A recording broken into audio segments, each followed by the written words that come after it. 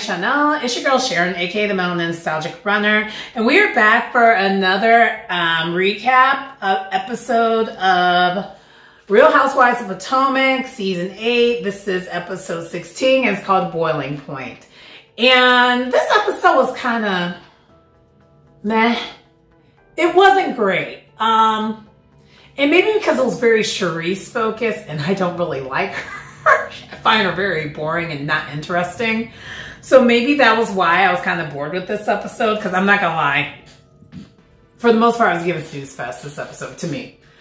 Um, but I did see the preview for the following episode, and baby, I'm looking forward to that. That seems like that's gonna be a whole entire thing. But at the same time, I, I hope I'm not the only one that feels this way, but I'm just like, when are they gonna wrap this? when are they're gonna wrap this up? Anyway, so without further ado, let's get into the recap. All right, sorry about that. Um, so we started the episode off um, with the ladies. All the ladies are back in Potomac, so they're finally they're out of the DR. Uh, which, by the way, I actually enjoyed this group. This was one of the. Um, I did enjoy their um, vacation with them going to the DR. Minus the fact that they still don't do things. They just. It seems like they go to they drink, eat, go to the beach, that's it. To me, that's kind of, that's given boring, but it's better than what the, what it's been before. But anyway, they're back in Potomac, and we see that Candace is headed to um, Kiara's um, wellness spa that she has. Kiana's. Is it Kiana or Kiara? Um, Kiana. It's Kiana. It's Kiana. Kiana, Kiana, Kiana, Kiana, Kiana. I'm trying to remember it and I apologize. But anyway, we they end up going to Kiana's wellness spa um, to get, and she's there to get her um, kitty cat um, hair removal through the ways of lasering. and um, then Wendy actually meets them as well and she gets like her underarms done. Um, so as they're there, they're kikiing, and um, Wendy. Side note: Wendy's not in this episode much at all. This is pretty much the only time Wendy's in this episode, and she provides an update on what's going on with her talk show, which she is on YouTube now, and she actually did just put a new episode up. I think today. Um, I've only seen the first two episodes. I do want to go back and watch all her episodes because there was an episode where she had LaTavia from like Destiny's Child on it. I want to check that one out especially. But anyway, for those who haven't had a chance, definitely check her out. Um, but she's providing an update on her show, and she's saying that at the at this moment, when you know this episode, she's saying that she's having trouble finding guests um, to be on her show. And she has plenty of connections because you know she's been she's in the political arena. She also is in the academia um, area. But the problem is that most of her friends or connects either live in LA, so she would have to fly out every time to go to do the show with people who are in LA, or for her political um, links or people that she knows through the political arena, a lot of them are already on other news outlets or shows, so there's she would be dealing with a non-competing clause. So um, Candace did suggest like, hey, how about you like maybe invite some people from like the academia world. And also too, you have plenty of other connections. I'm sure you'll figure it out. Which, fast forward, she has her show and she's figured it out. Um, so after that, they both get done with their lasers, the lasering. And they go to the front of um, the wellness um, spa to have some drinks. And um, Candace basically congrats um, Kiana for how well she handled the ladies while on vacation with them. And also both um, Candace and Wendy apologized to Kiana, to Kiana again because they did not, because Kiana still is like, yeah, y'all, y'all did not really check up on me as much as I would like you have to. And they, they own it. They're like, yeah, we, we didn't know that you were like as bad as what you were. Um, if we would have known that, we would have checked up on you. So, not a big deal. All is well there. And then um, they do end up talking about a little bit about the dynamics in the group um, because Kiana was a little shocked by that. and specifically what's going on between Candace and Robyn, which spoiler alert, it goes this this comes up again. and and I'm, I'm tired. But anyway, so Candace states that so her energy this time around is a lot different than it was like at in the DR. When she was in DR, Candace very much looked like she still wanted to be friends with um, Robyn, but she's playing it cool. This time around, she states with Kiana, no, I've heard some more things that she's been saying and doing behind my back. And also she's using some very key words, um, you know, choice words, you know, defamation is very intentional. And side note, I think what we all keep forgetting, this is still during the time when Candace has that lawsuit against the, um, she, you know, got sued by, you know, Ashley Darby's husband, Ill, aka Michael, um, a defamation suit. So I didn't think about it when, you know, um, when Robyn mentioned it last week, but now when they replay that, I'm like, oh, oh, that was intentional. Okay. So we need to keep that in mind too. But anyway, that's where this thing ends though. Because Candace is basically saying, yeah, I'm not here for that. I'm gonna, to, I'm gonna be saying some, something about it. Which she definitely does later on. Spoiler. this next scene, it was a pretty emotional scene, but um, it, it still wasn't much to it for the most part, but it was emotional. Um, Gizelle is helping Grace get packed up and um, heading and going to college. So this is the day. The day has occurred. And so it shows them at 6.30 in the morning, her with the twins and Grace saying goodbye to everyone. And then um, Gizelle is driving um, Grace to the airport, and then um, her the dad comes and like you know they say their goodbyes and then they go to the campus and that's that on that. And um, Gizelle was fighting being emotional, but she was definitely being emotional here. Grace was too, and they just showed a lot of flashbacks of Grace and all the girls on the show for the past, you know, eight seasons. And that is one thing that is like a, a saving grace, no pun intended, um, is that because Gizelle has been on the show, she has all these memories documented now. So that is something to be very proud of. Um, whether you like Gizelle or not, that's cool. So that's pretty much what happened here. Next, um, Charrisse and um, Ashley visit Robyn at her place. And, um, you know, Robyn has a nice, um, she has some champagne there on the charcuterie board, some sushi rolls and all that for them to snack. And um, Juan, we find out that Rob, um, Juan is with the boys. So no more, no more Juan the first like 10 episodes, I feel like Juan was like in every single episode. He must have met his quota. He's like, okay, I'm done. I did my job. Because he ain't been around since. Either that or Robyn got sick of him embarrassing her. I don't know. Um, but the fact that y'all still together, together, I don't know what arrangement y'all have. That's embarrassment enough. But that's all other side note. Anyway. And then um, Ashley, you know, says she just came from a doctor because her son Dylan had a cough. And so she's like, I just need to unwind right now. And so the libations are libating so they could do that. And um, Charrisse mentioned a massage therapist came to her house and did the massages of it all and then um, offered a vaginal massage. And I almost puked my mouth when she, she said that. I don't want to envision that. That's disgusting. Yeah. Anyway, so the ladies um, get their drinks and they recap. They basically recap um, to Charrisse the trip. Um, Robyn, for whatever reason, is still holding on to the fact that um, Vernon Davis is going to be training um, Karen. And Robyn doesn't realize she sounds really stupid. That's what kills me about Robyn. She thinks she'd be doing something, be eating, and she sounds stupid. Vernon Davis is a professional athlete. Professional athletes know how to train.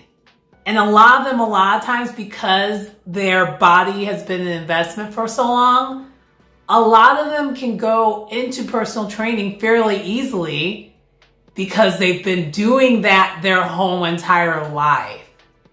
And side note, I'm almost positive he probably has that background or else he would not be able to train her. Like, because legally you're technically not supposed to train someone else unless you are certified. Like, because you could get into some trouble if you end up, someone ends up getting injured on your watch. Like, if you're charging them, that is. Now, if you're doing it for free 99, that's a whole nother thing. That's like basically a workout buddy. But like if you're training someone and you're paying for their services, you can actually get in some trouble if you don't have any type of like certification. And so based off of that alone, that's uh, all I need to know. And I, I'm I'm speaking on that because I actually used to be a certified personal trainer, so I know that. but anyway, neither here nor there. Um. So Charrisse um, mentioned she's going to be hosting a crab boil, and she said she's going to be inviting everyone in the group, and she also is going to be inviting Jacqueline. And um, Jacqueline, Mia's friend, or not not friend anymore, Jacqueline.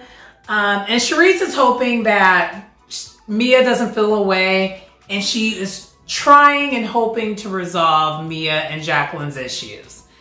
And that pretty much concludes that scene. Next, we see Nneka. She's getting ready. She's getting glammed up um, to get ready for this crab oil. And her and Ike are discussing the IUI journey. And um, so we find out that she already did get the process started. And if everything looks good um, next week, then they can start the assimilation, assimilation of it all uh, to get things going. We also did find out too, similar to other culturals, uh, other cultures, um, she is concerned slightly that they, her, her, you know, the Nigerian culture might feel a way about her doing this because it's not typically the natural way is the way to go. But it's like, girl, I get you're saying that, but it's like, I, I have a tough time listening to Nneka talking about this when you already did a whole bunch of other stuff that was culturally damaging that was way worse. But, okay. Anyway. But I, I see what she was trying to say, but I'm still looking, I was looking at her funny because like you weren't thinking about your culture when you did all this other stuff leading up to this. But anyway, next. So next we have um, Karen and she's getting ready to bake some cookies and we see that she actually invited Gizelle over for cookies. And Gizelle is kind of shading her. She's like, you're making me these cookies in the tube. So basically pre, pre-made cookie dough and just putting it on the pan. Considering the fact, and then they flash back to like Gizelle's background because Gizelle used to be like a baker and they go back to the whole baking of it all, her baking the cookies or whatever. So she's like, you couldn't even make the cookies from scratch.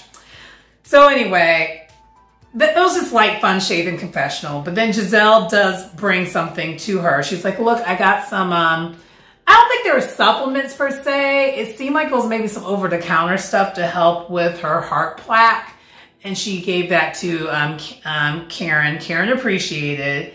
And then Karen showed Gizelle's IG regarding Gizelle kind of, you know, giving update about Grace going to college um, from the airport and um, her being slightly emotional. So she's like, you know, I have the remedy just for that. So Karen, besides the cookies, got her some 1942 tequila because we know Gizelle loves her some tequila. And um, so they have some libations and then she, you know, asks, then she asks how Gizelle's really, really doing. And um, Gizelle's trying so Gizelle's like, I'm doing okay. I'm doing better. She kind of brushes over it because you know Gizelle don't like getting emotional often. And she does. So then Gizelle switches up and tries to get Karen to go to Charrisse's event. And Karen is having no parts of it. Karen now is, okay, we love Karen, right? But we know she'd be lying. she'd be lying. And one, and so her new lie is that Ray has a really, really heavy allergen and very much allergic to crabs, so therefore she cannot go to this crab boil because of Ray being so allergic to crabs.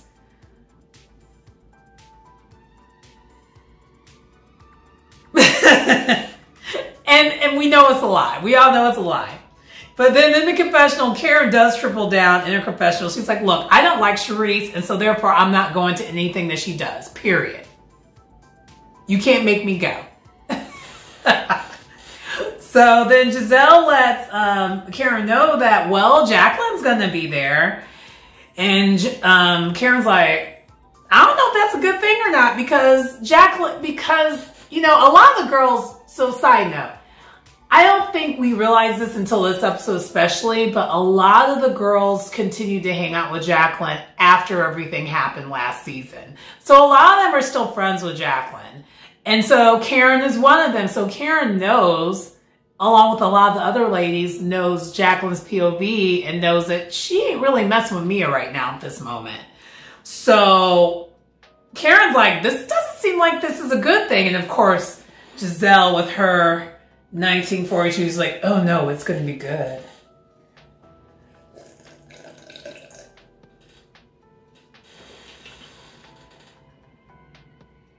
Look at as evil as she can look. just, just gotta throw it out there.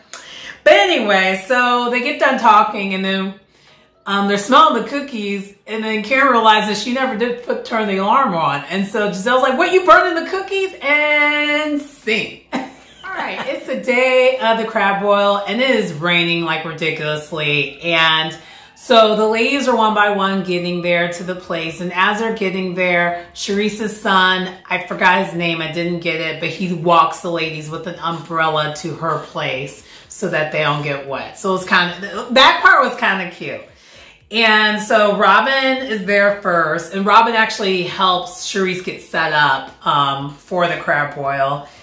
Um, we find out because um, Robyn asks who who's all going to be there or who's not going to be there, and Karen is not going to attend because because of the lie she told, and then Wendy also states she won't be there because she has an award she's getting.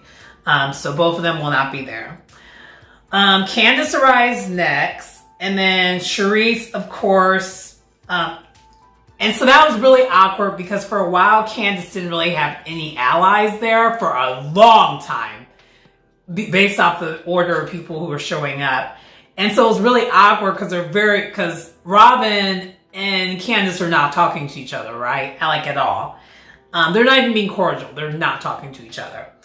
And Char- is basically taking Robyn's side. And she's like, why is this happening? Why can't they just patch this up and be good? So even though Charrisse has taken Robyn's side for the most part, she wants them to resolve the issues and wants them to get along. Um, but then Gizelle arrives next. See what I mean? Karen, Candace still ain't got nobody to talk to. And then Jacqueline arrives next, and finally now Candace has someone to talk to. And then Kiana arrives, and then Ashley Nneka looking like a clown arrives. And why I think she looked like a clown, why is this woman wearing that sash and that Party City crown on her head? And I didn't say that. Charrisse called it that too, because she was like, girl, what? Because even she thought it was stupid.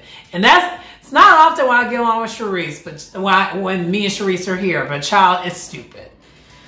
So then Mia, um, so while Mia still hasn't arrived yet, so the ladies are kind of grilling um, Jacqueline to find out what is going on with her and Mia. Are, are they in a good space, yay or nay? Um, Gizelle saying that y'all are good, because um, Gizelle said that Mia told her that they were good, and Jacqueline's like, no, we're not. and Jacqueline's proceeding to say, like, she's a devil, she's evil. I have nothing to say to her right now. We're not good, we're not going to be good. And as she's saying this, then Mia arrives. She's like, hi, the party's here. Being as delusional she always is. And side note, I've already said this before. Minus the drink throwing and sometimes her pick me energy. Really like Mia. Mia is cracking me up. She's kind of the only one I feel like who's trying to move things along. I mean, trying. so anyway, that that is the commercial happens and then we go on to the next thing.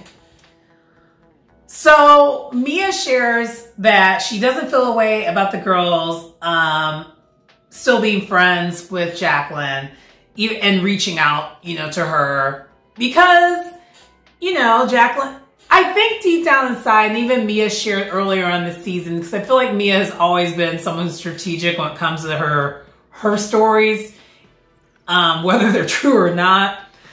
She always gives us breadcrumbs. So Jacqueline has come up more than once in this season and is she's kind of made it known like she wants to patch things up um, in her own Mia way of saying it. So I really wasn't that surprised that Mia didn't take it away. So then Gizelle states the obvious and literally repeats what she said, you know, when she was talking to Jacqueline. She's like, well, Mia stated that you and Jacqueline are good, but while, you know, I just talked to Jacqueline, she's saying that y'all are not good.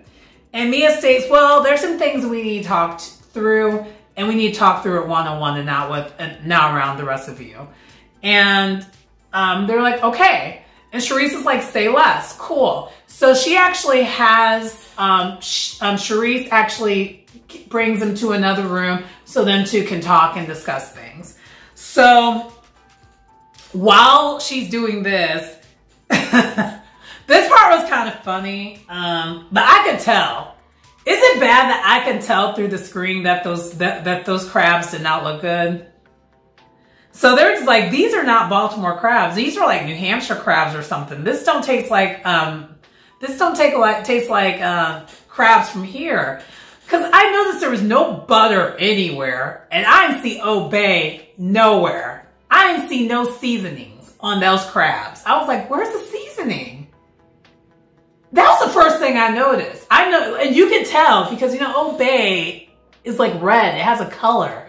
So, and you know, you put the seasonings on it. And you know how we are? We need to have some seasonings. But it was lacking seasoning and the ladies are all shading her. Um, even her friends like saying like, you know, it's lacking seasoning. And I was like saying, well, I mean, it's similar to like Charrisse's personality. It's pretty on brand to me.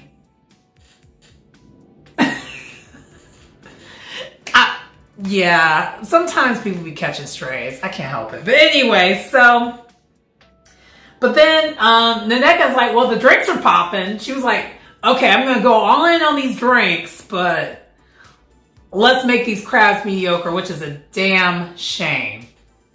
Y'all are in that area where the crabs are the best and y'all couldn't make those crabs taste good.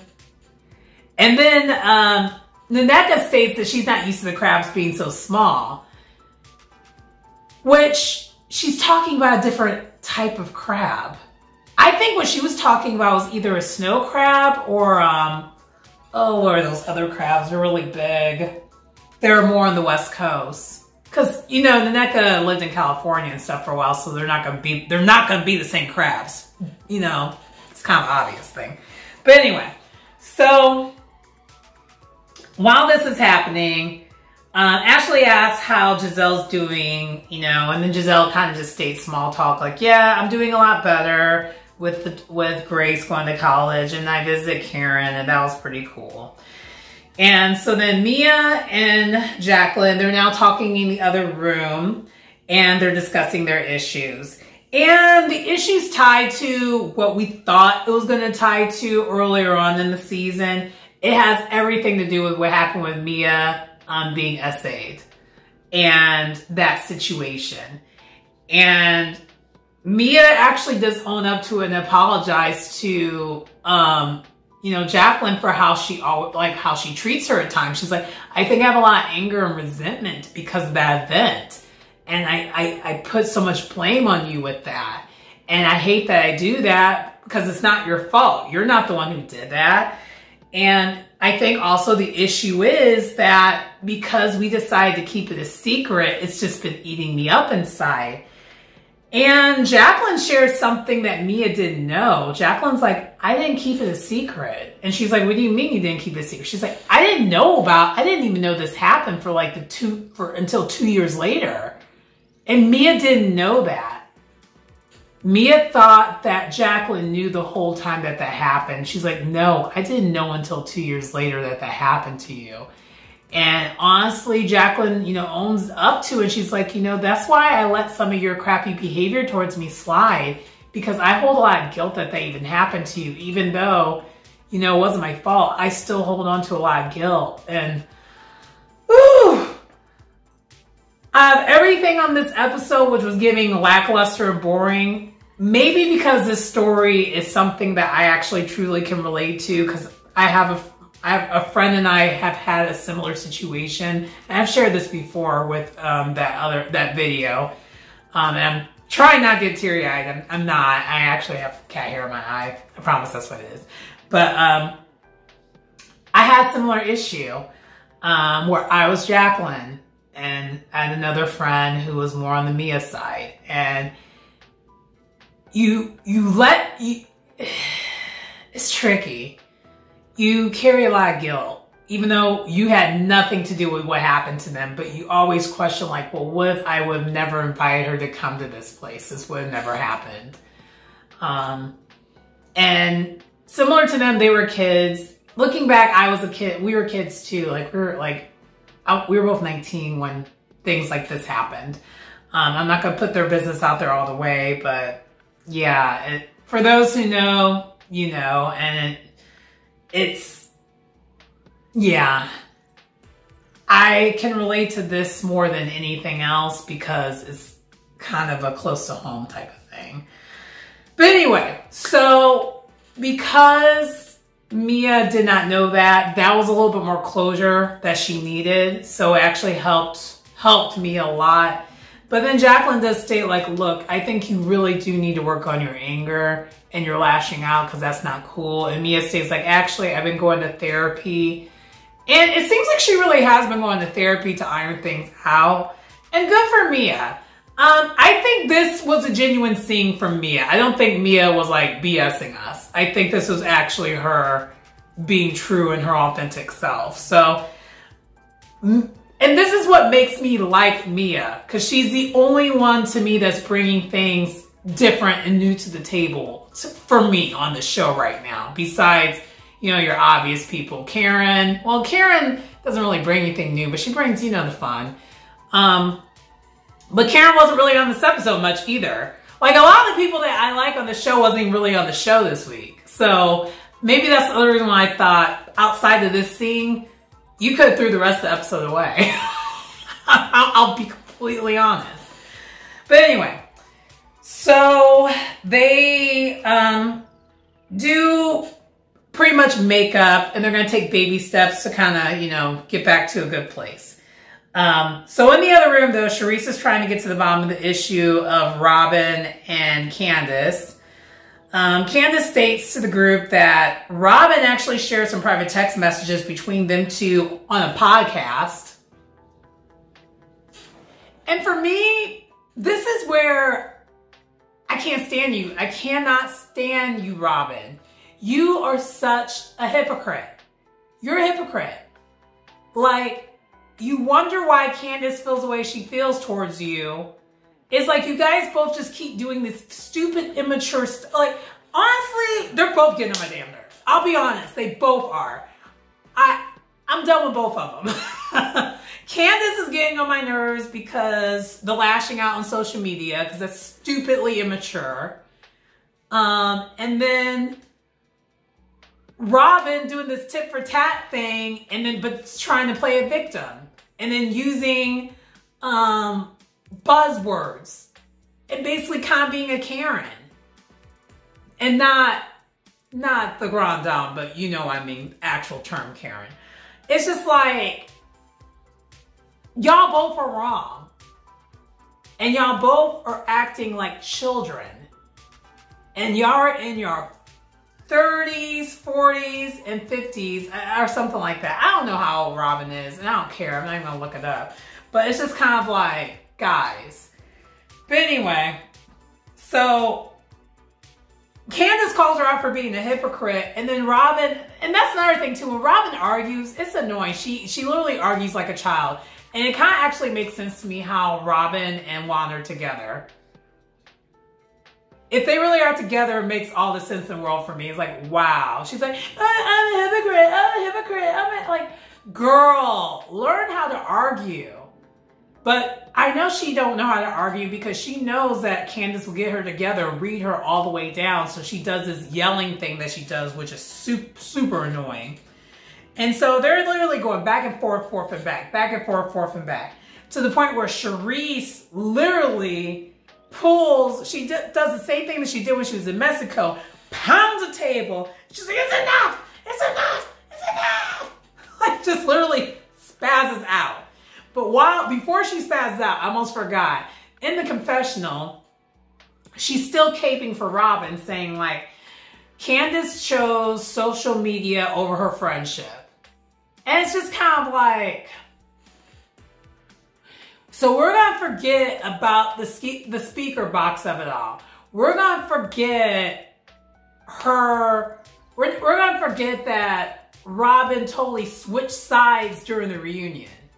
We're going to forget about those things. We're going to forget all of that. It's the selective memory for me. But anyway, Charrisse, she snaps and everyone's looking at her like she's crazy because it's like, girl, what? Because she just snapped and everyone's like, what is this? And so that was like, so as she's doing this, Candace is like, I'm gonna go. I cannot do this. So Candace goes to get ready to get her stuff together so she can leave. And as she's doing, as she's leaving, um, Nneka goes and follows her to console her. But she's like, I'm good. I'm done. I can't do this anymore. I'm over it. I just can't. And so Candace says her goodbyes to people personally who she actually likes in the group, which was like Mia, um, Nneka, Jacqueline, Charrisse, and she's like, and everyone else that matters. I was like, she had to get her one little, she had to get her jabbing, you know, I, I you know, petty be petty. Um, but, um, so Candace, as she's leaving though, she also makes sure she says bye to all Charrisse's family. She also apologizes to Charrisse for yelling at her house. She's like, she's like, I've been home trained. I, I, I know better. I knew better to do that. So that's why she's like, I gotta go. I ain't staying here for this. And so then, um, as far as them two resolving things, they need to let that go. Quit trying to make fetch happen. And both of them pretty much said it. Like, stop trying to make fetch happen. We're not going to come together. Which means one of y'all got to get off the show. And Robyn, I want it to be you. Because you don't bring anything to this show.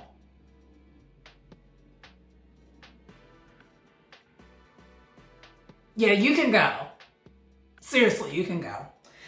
Anyway, so Charrisse, after she did the yelling, I forgot, before you know, Candace said bye to everyone. Charrisse actually did go outside to cool down and then she came back inside. And then she like apologized. She goes back to the table, apologized to everyone. And the ladies are just like, still looking at her like, you good?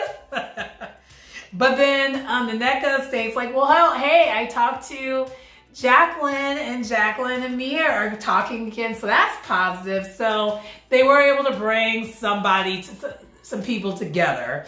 And Mia to close this show, close this episode, she says, I really wish everyone would come together with this group because I like these hoes. I do. and it cracked me up because honestly, the way they're at, like, I love that she said at the end. But, um, Yeah, I agree, Mia. The show would be a lot better if they would. But, and those who can't do that, they can leave. At this point, I don't even care. I'm over it. And side note, I could have reviewed this yesterday and watched it yesterday, but I chose to leave and go somewhere else and hang out yesterday over watching this show because I, I'm, I'm over it. I am over it. I'm gonna need y'all to I'm gonna need this episode, this season to wrap up, and then y'all go back to the drawing board when it comes to this because what is this? But anyway, that does conclude this episode of Real Housewives of Potomac. Um, and um, yeah, the next episode does look good. So I am probably gonna make sure I'm around to review that one. Um, but anyway, please like, comment, subscribe to the channel if you get anything out of content. It's your girl Sharon, aka the Melanin Nostalgic Runner, and I will see you next time. Bye.